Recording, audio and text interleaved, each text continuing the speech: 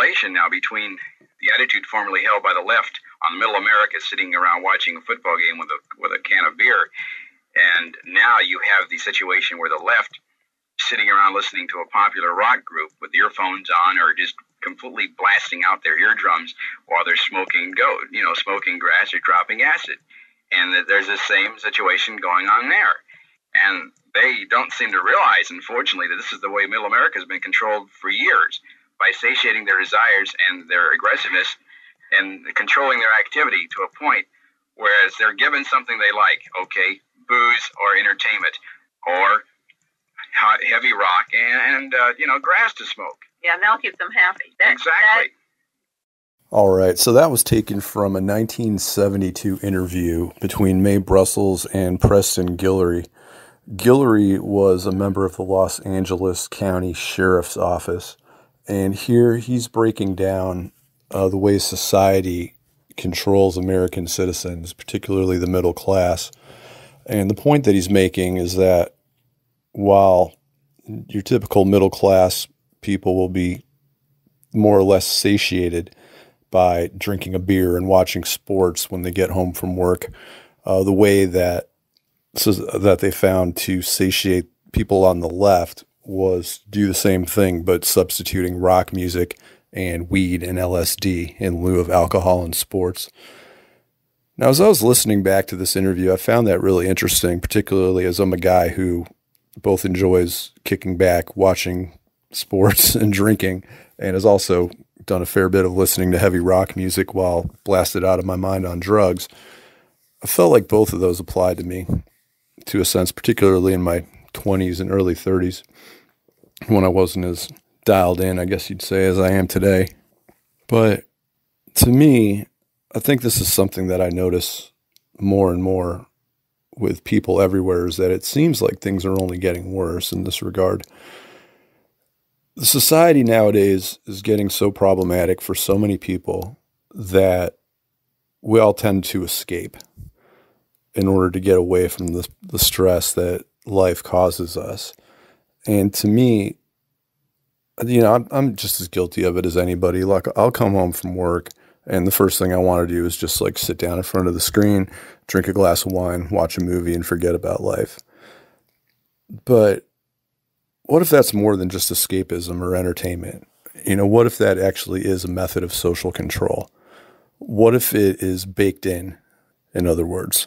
Is the reason more Americans aren't getting out there and fighting for their rights because they're too busy watching television or getting drunk or just finding other ways to divert themselves. You know, I'll, I'll, quote Pascal Robert here because he has a really funny saying about this. He says, More people these days are interested in real housewives than Real realpolitik. And I, I have to agree with him there. You know, as we're looking into the future, I was listening to a report today on artificial intelligence and where it's all headed. And it got me thinking about the metaverse and, you know, when I first heard about what Zuckerberg was doing with Meta, I said to myself, this is stupid. Nobody's going to be interested in this. It's, you know, it's just a ridiculous diversion. But the more I think about it, I really think Facebook, well, I guess they're Meta now. Meta has the right approach because what they're doing is basically the last available option. In other words, social is overrun with different companies right now. TikTok in particular is just completely eaten Facebook's lunch. And Facebook is a company that doesn't manufacture hardware the way Apple does, so they can't just fall back on marketing iPads or computers or phones or whatever. They need something new and virtual, you know, what we used to call virtual reality back in the 90s is it. The metaverse it's a fascinating concept because essentially it, it doesn't take much to envision a time, maybe it's five or 10 years from now, when everybody's walking around wearing Google glasses and is just lost in their own universe. So let's examine that concept for a moment. You wake up, you get out of bed, you put on your Google glasses, all of a sudden you're in a completely different world. You are interacting with people that you only know through the metaverse.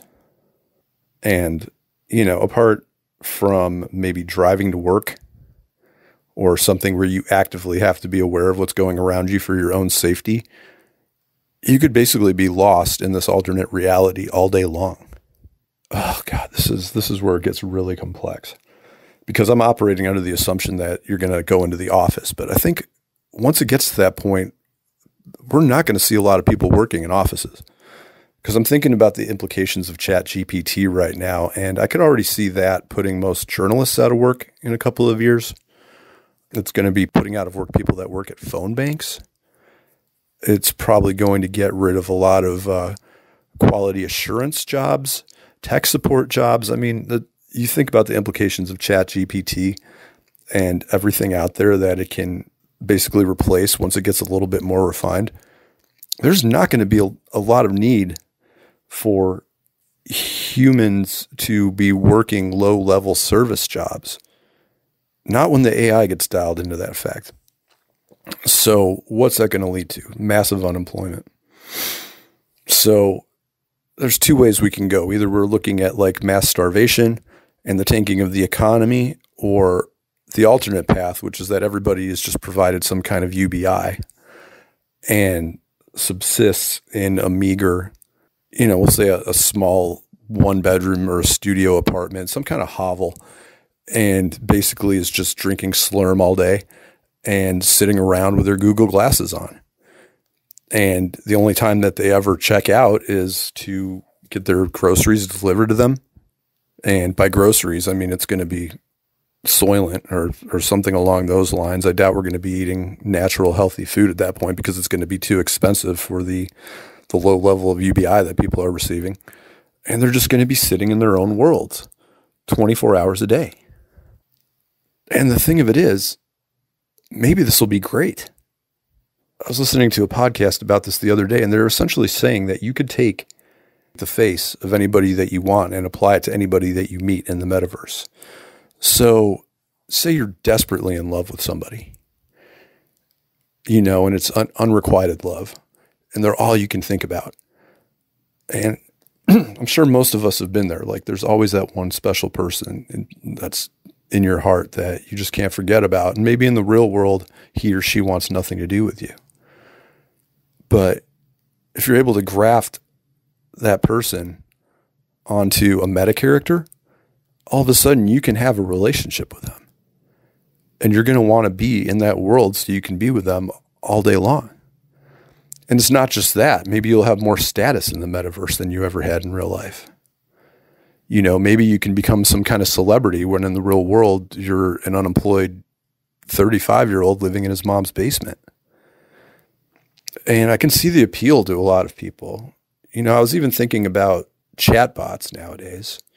And this is already a thing. They have chatbots that can take the place of a real world boyfriend or girlfriend that texts you throughout the day.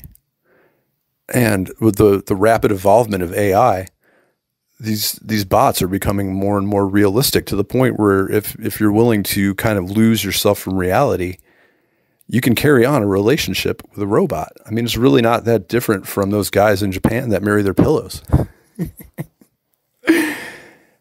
so what are we looking at here? I mean, have we reached the singularity? You know, we all saw The Matrix. And I think the reason that movie resonated for so many people is because when it came out in the mid 1990s, society itself was grappling with these questions. Like, we weren't quite there yet, but anyone who was paying attention to what was going on would know what the future had in store. And in philosophy circles around that time, like, you know, the questions being asked all had to revolve around, like, when are we going to reach the singularity? are we living in a simulation? Does life exist in in the actual sense, or is it just a big put on? And I mean, these are these are things philosophers have actually been grappling with since the dawn of philosophy. You know, what is reality? Does reality exist outside of what I see with my two eyes, or is everything just you know, is it just a, a gigantic simulation? But now we're taking that one step further because now we are going to actively choose to be part of the simulation. Okay, let's try to scale that and see where that gets us. Well, for one thing, the people that are controlling us in this scenario, they're still going to need essential service workers. There's still going to have to be people to build the roads, run the power grid. I'm debating whether or not we're actually going to need education beyond maybe primary school, because at that point, what do you really need to go to college for? If you're just going to be sitting in your house all day long, it really it, it strikes me like almost something out of a Robert Heinlein novel, where everybody's just sitting indoors all day long. They get their food delivered to them. They're jerking off to their Google glasses all day long, and that's a satisfactory life for people. But think of the implications. You know, the planet is pretty much going to come to a standstill. And the only people that are going to be engaged in reality are going to be the people at the top who are benefiting from all this. And, you know, the their professional managerial class, I guess you'd call them, but this would not be the same as the professional managerial class of today because it's not going to be journalists and you know news reporters and people of that ilk. These are going to be medical workers, uh, construction workers, maybe even like sanitation workers, the people without whom society cannot survive. But I think it'll be a good deal for the people in charge because they're really not going to have to do much other than just keep pumping out more and more Google Glasses or whatever the device will be to keep the rest of us occupied. And if you and I and everybody else is happy living in the metaverse, then I mean, is postmodernism just completely taken over by that point? Have we hit the singularity that Ray Kurzweil predicted, where machines eventually just start teaching themselves? And will that benefit society?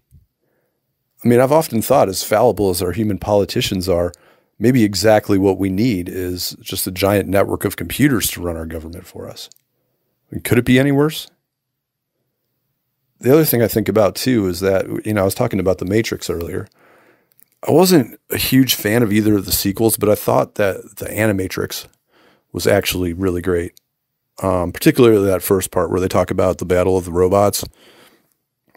That I mean, it, it's basically just machine learning gone crazy, which which from what I'm hearing right now is exactly what's happening. Like it's we are at a tipping point. So the question I pose to you is it better that we just completely zone out at this point and just give in to our cyber overlords and say fuck it? Or is there something tangible about reality that's worth fighting for? Is it better to exist authentically or give in to postmodernism. Then Polanski went on to say hippies don't exist anymore and the hippie movement has degenerated. But the degeneration came from the top, not the bottom. When the kids began preaching new values, the government tried to beat their ideas out of them. Now, Polanski is saying that the government is trying to change our value system. That's another excellent point there, and that's Mae quoting from Roman Polanski's December 1971 interview with Playboy magazine, where Polanski is essentially saying that the government is working from the top down to destroy so called hippie values. So the question I have to ask is Was the government successful? I mean, 1971 was over 50 years ago, and we don't really hear a lot about hippies today or I guess the hippie subculture that exists kind of has the trappings of the 1960s, early 70s hippie culture, but without the political element to it. And what I'm wondering is is that just a matter of propaganda or did this push take the form of immersive video games and the internet? Because again, it's difficult to really invest yourself into politics if you spend the majority of your day playing video games. And that's what I don't understand. I do sometimes feel as though my generation, Generation X, was really the last one to question corporate authority. Growing up, corporations were clearly viewed as the enemy by most of us, and I think most of the art at the time reflected that. But starting with the millennials and uh, even more so with the Zoomers, I'm starting to notice this kind of almost unflinching brand loyalty that I find very suspect. It's almost as though corporate control within society has just kind of overtaken their minds to the point where it's just unquestionable. You know, it's not a matter of if you're going to let a brand determine your personality, but more so which brand is going to. That's something I have to put a little bit more thought into. I may not be giving millennials and Zoomers enough credit here because I think there's there are plenty of them that are are pretty awake and pretty aware of what's going on, but at the same time, I, I do notice a change in young people and children today. They seem to be not quite as independent as they were when I was growing up. And I think a lot of that just has to do with the hold that technology has on them. you know, we hear about parents giving tablets to their kids when they're two or three years old. And you know, while on one hand it's great that these kids are immersing themselves in technology and learning how to operate it and that they're not going to be afraid of how to use computers and how to use digital devices. On the other hand, it, it does seem to be causing a peculiar form of social isolation within them. And that's that's something to keep an eye on for sure. You know, it comes down to again, how can you start a people's movement when people are isolating themselves within their own homes, playing video games all day long, or just shouting at each other back and forth on the internet. You know, I, I really don't see how you can motivate large groups of people to come together like that. And again, it, to me, it seems like it's by design. Mae it, it appears that what the government is trying to do is to convince people the value system. What they're trying to set up the value system is that they want to convince people that uh, nirvana is people living in the suburbs in a split level with a lot of electric appliances with plastic cases which are warm to touch and a two cherub faced kids and a pretty wife and a large dog that you know yeah barks. barks when you come home. This this is the myth. And this this whole myth means you go out and you buy this house you buy the products that go inside to make this house work. You buy you buy you buy. You consume you you you must consume products. And if you don't consume, uh, then Rand does a study about how to take care of you. Right. They'll they'll decide how you're going to consume. Yeah. You must consume to keep this glorious society of ours going. You know, if you don't buy a new toaster every three years and a new car every three and a half, society as we know it will come to a standstill. You go to France, you go anywhere in Europe, you see a, you know, the average car is 10 to 15 years old. Was my experience when I was in France. And people there, they make use of things they buy. They don't buy things to consume them. We buy things here everything is a consumable. Uh, we must consume everything we use, and that includes people. Yeah. We are very busy consuming people that help make our society go. That is, for instance, if you were to eliminate poverty and uh, illiteracy in the United States, you just knocked two uh, very important political issues right in the you know in a contact. You can't eliminate things in the United States that politicians need to get elected on. What would man use for his platform if there was no poverty, if there was no racism, if there was no materialism, if there was no war? All of these things help get people reelected each year. Yeah, there we go. That's another great point there. And I actually see uh, that kind of 1960s consumerism getting skewered in some of the movies from back then. I was hoping to do a review of a few John Cassavetes films that I've watched recently, uh, which includes Faces, uh, his movie from 1968, which deals with this exact sort of thing in terms of just mindless consumerism and ennui in the stereotypical upper middle class suburban lifestyle of the time.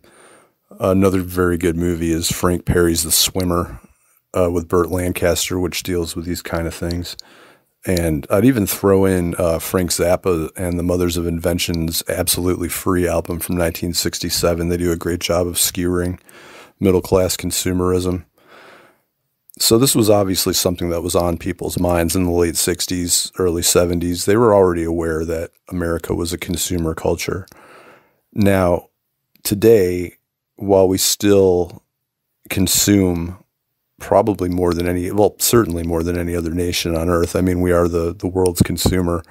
There at least is a push towards renewable products and, uh, you know, green energy um, so we're making a little bit of progress, but the question, of course, is is it enough? Uh, the answer probably not. Uh, I just heard the latest report from the UN that we're due to achieve a, a 1.5 Celsius overall increase in temperature uh, sooner than anticipated. And of course, they say once we've hit that magic 1.5 degree marks, that it's going to be catastrophic for the environment. You know, we're going to see more natural disasters, um, more awful weather events, more pandemics, you know, you name it. So the question becomes, you know, what can we do to slow the spread of consumerism when capital's engine revolves based on the consumer always wanting more and quarterly stock prices always increasing. You know, it does seem to be a feature and not a bug of capitalism that the entire system of government revolves around this never ending consumption. And in order to power it, you know, we need to exploit the third world and other countries and just have them be the the gasoline to to keep with the car metaphor. You know, this is something that even when they were laying the groundwork for the industrial revolution, there must have been some people that knew that it was only a matter of time before the entire Ferris wheel came crashing down. You know, there was a lot of talk back in the 2000s about oh, you know, we've hit peak oil. What does that even mean? I don't know. It seems to me that there's always new oil reserves being drilled, but you know, at some point, we're, we're simply going to run out of resources. And even though we haven't reached that point yet, uh, the damage we've done to the rest of the world in order to keep America rolling has really been incalculable.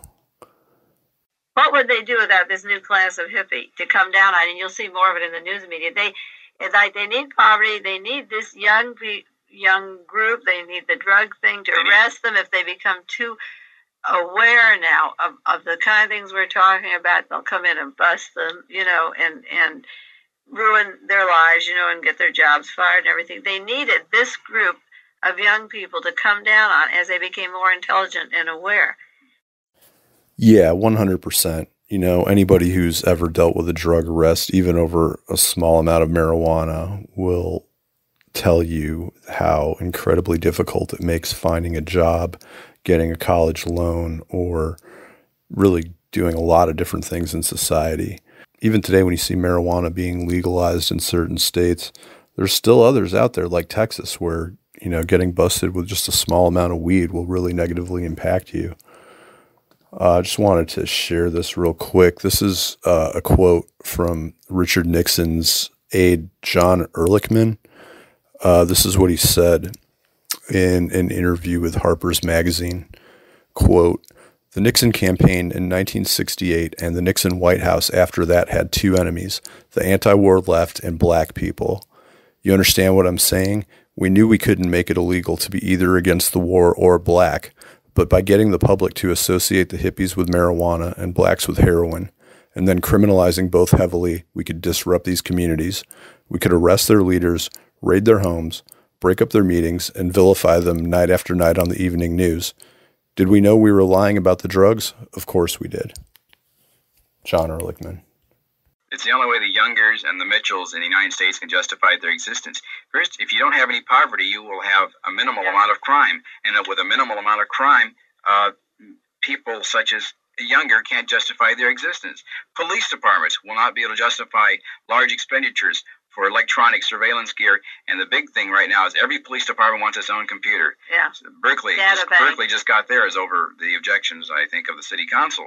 Uh, my friends, they're not. They're putting a lot more into these computers than just information on who's wanted for traffic warrants. Yep, and there you have it once more. Proof that as early as 1972, local police departments were already procuring computers to keep tabs on citizens. And I mean, it almost sounds kind of quaint that a police department would be begging the state to provide them with funds for a single computer, considering the massive NSA data centers that we have throughout this country and throughout the world, keeping records of every single piece of information that's ever been on the internet. And, you know, as we all know, in the wake of the Edward Snowden revelations, that the U.S. government does not require any kind of legal action or subpoena in order to track what people are doing online. So, just another thing to keep in mind. I don't know what we can do about it really. Um, the information's already out there. it seems to me that it's largely being held on to to use to blackmail certain people who get a little uppity or out of line. But the consensus amongst Americans nowadays, a lot of the time, seems to be well, I'm not doing anything. I don't care if they spy on me or not. Well, people get the government they deserve, I suppose. At any rate, I hope you've enjoyed uh, listening back to this interview. I'll post the link to the complete one in the comments. And uh, thanks for listening. See ya.